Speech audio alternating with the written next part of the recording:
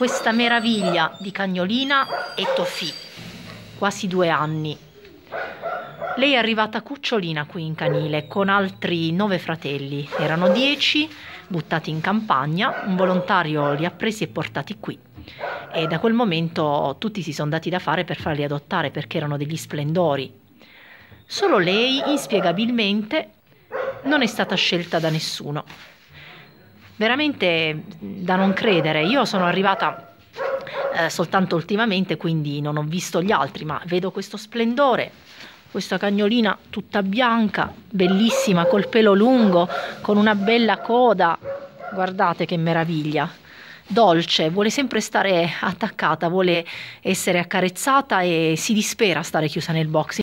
Infatti si è graffiata qui sul muso, sotto l'occhio, perché sempre con il muso infilato nella rete, perché vuole uscire assolutamente, vuole richiamare l'attenzione.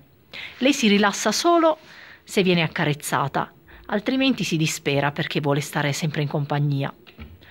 Povero amore, che peccato veramente, non è giusto che questi cani debbano essere condannati al canile a vita. E questo accade perché arrivano i cuccioli e quando arrivano i cuccioli bisogna darsi da fare per non farli restare in canile. Ma sempre qualcuno fa grande e cade nel dimenticatoio. Adesso vogliamo dare a Tofi una seconda possibilità. Piccola, sei troppo bella. Secondo me qualcuno dirà cosa ci fa una cagnolina così bella e così buona in canile e chiamerà per adottarti.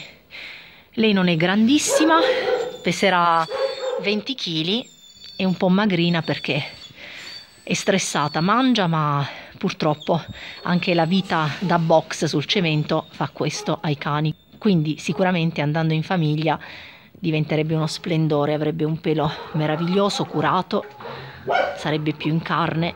Ovviamente se resta qui la situazione non cambia. E allora piccola, ti posso solo augurare buona fortuna. Speriamo che qualcuno guardi i tuoi chiami. Ciao piccola Toffì.